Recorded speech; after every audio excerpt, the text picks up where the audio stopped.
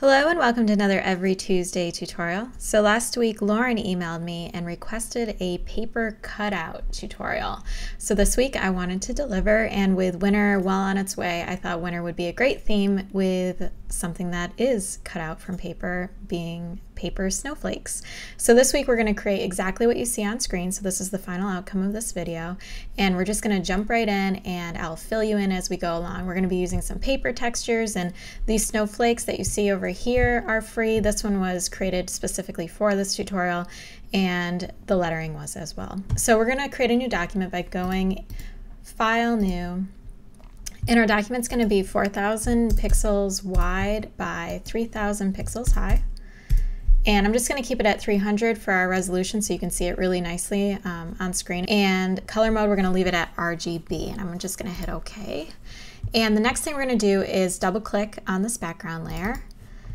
Hit OK, and now we can edit this. So we're going to double click one more time and we're going to apply a layer style of a pattern overlay. Now I'm using some recycled paper textures. I have two kits. I've got a handmade paper texture kit and a recycled paper texture kit. So I'm using paper textures from those kits. I will link to them on the video and in the video description. But I also gave three of these away over on my blog, so I'll link to that as well if you want to kind of test it out before you go in um, using maybe the more detailed textures. So for this background, I'm going to use this, um, it's called Earth, and I'm just going to click on it, and we want to use it exactly how it looks right now. So I'm just going to hit OK. And in order to get this kind of blue background going right here, I'll show you how to easily change the the texture to any color that you want. So what you're going to do is you're going to create a layer right above it. And don't forget to label your layers because we're using kind of um, more than we usually do for this tutorial. So I'm just going to call this background and this new layer is going to be background color. And I'm going to use this blue color right here and the RGB value for this blue is 97, 144, 152. And just make sure you send this to the back um, and then you can use the keyboard shortcut Command Delete or Control Backspace if you're on a PC and this is what will happen. And the way that you colorize your texture is all you have to do is come over here to your blend mode, toggle it down and choose color, and now it's blue.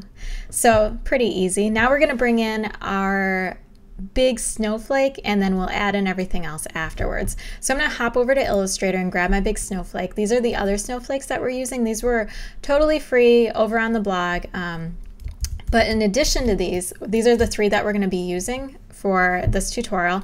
I also did some hand lettering and I vectorized it out. Um, if you're unfamiliar with vectorizing typography, I'll link to another tutorial I have on how I do that.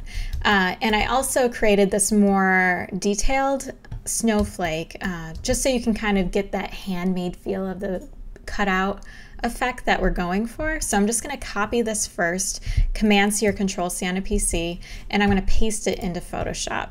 Command V or Control V on a PC. And I'm going to paste it in as a smart object and hit OK.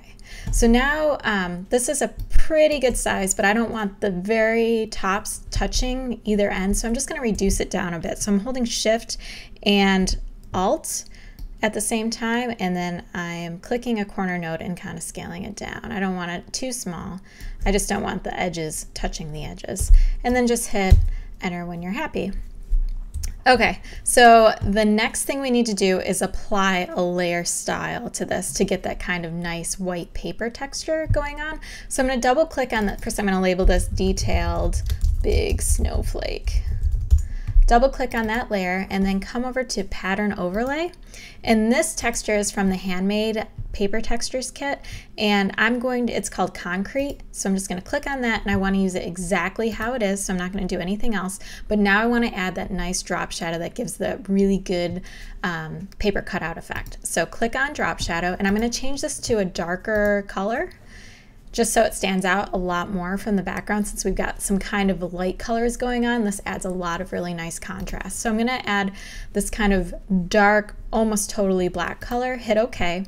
My opacity I'm going to change to 65%. I'm to keep the default uh, global light angle for the drop shadow, but on distance I'm going to increase that to 11 and on size I'm going to increase that to 18.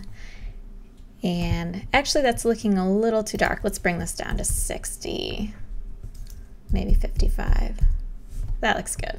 Okay, so that's all we're doing with this big snowflake.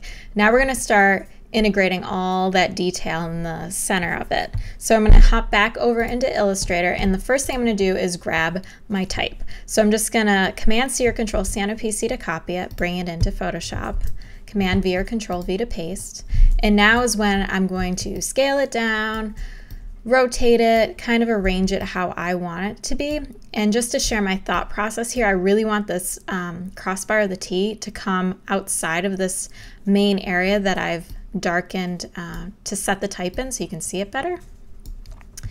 And maybe I want this tail of the art to come close but not touch. I don't want my W touching all the way over here. So it's kind of uh, the time to play around with things a little bit and get them where you want them. So I don't want to cut into this kind of um, line right here coming off, that doodled line. So that's looking pretty good to me. So once you're happy, just hit enter.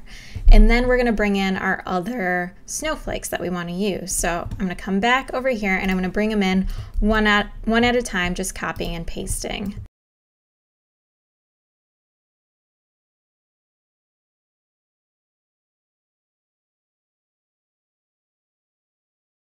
Okay, so now that we're happy with our positioning of all of our interior elements, we're gonna select each one. So when you're over here in your layers palette, if you hold command or control on a PC, you can see my little hand changes with the icon, and then I'm just gonna click once. So this selects one item, but if I wanna make additional selections, I need to hold shift. So now I'm holding command or control if you're on a PC, in addition to holding shift. So I have both of those buttons pressed on my keyboard, and then I'm gonna click this next layer, which grabs this other snowflake at the same time. I'm going to do it to this next layer to grab my other snowflake, and then I'm going to do it on this last layer, just clicking, and that'll select my typography.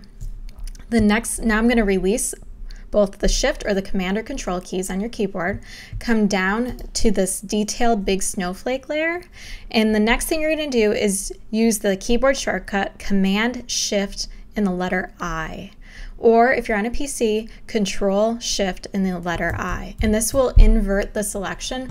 So before we were just selecting the snowflakes and the type, and now we're selecting everything but the snowflakes and the type. So now when we create a mask, which is this little icon down here, I'm gonna click it once.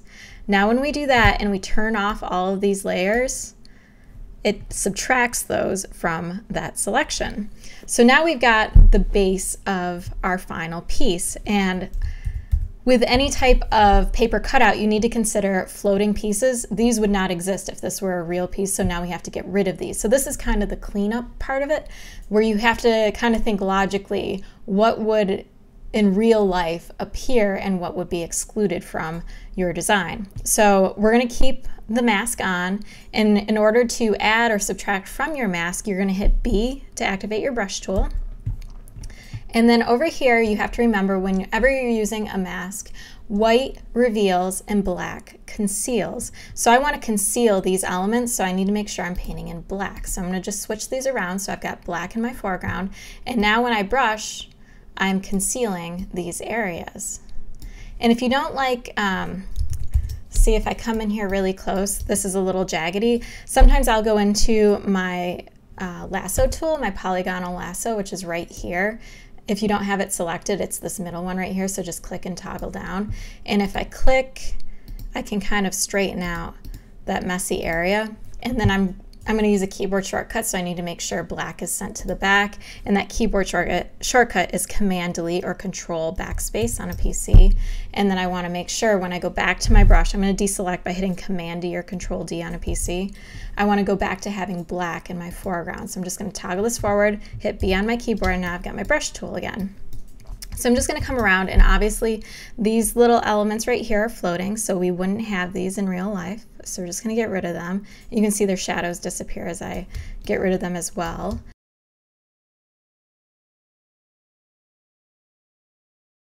Make sure that you're using a hard brush because it'll look more like cut paper. If you have a soft brush, you're going to add an effect to paper that doesn't even exist in real life. So in order to make sure you have a hard brush, just toggle this brush um, down and just make sure your hardness right here is set to 100% and that'll let you know that you're using an entirely hard brush.